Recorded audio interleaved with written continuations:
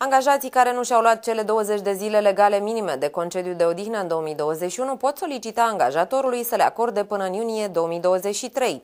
Concediul de odihnă se efectuează în fiecare an, iar în cazul în care salariatul din motive justificate nu poate efectua integral sau parțial concediul de odihnă anual, angajatorul este obligat să acorde concediul neefectuat într-o perioadă de 18 luni. Codul muncii pentru angajați în ceea ce privește concediile de odihnă prevede, conform articolului 144, intangibilitatea dreptului la concediu de odihnă. Dreptul la concediu de odihnă anual plătit este garantat tuturor salariaților. Dreptul la concediu de odihnă anual nu poate forma obiectul vreunei cesiuni, renunțări sau limitări. Conform articolului 146, efectuarea și compensarea concediului de odihnă. Concediul de odihnă se efectuează în fiecare an, în cazul în care salariatul salariatul din motive justificate nu poate efectua integral sau parțial concediul de odihnă anuale la care avea dreptul în anul calendaristic respectiv, cu acordul persoanei în cauză, angajatorul este obligat să acorde concediul de odihnă neefectuat într-o perioadă de 18 luni, începând cu anul următor, celui în care s-a născut dreptul la concediul de odihnă anual. Compensarea în bani a concediului de odihnă neefectuat este permisă numai în cazul încetării contractului individual de muncă.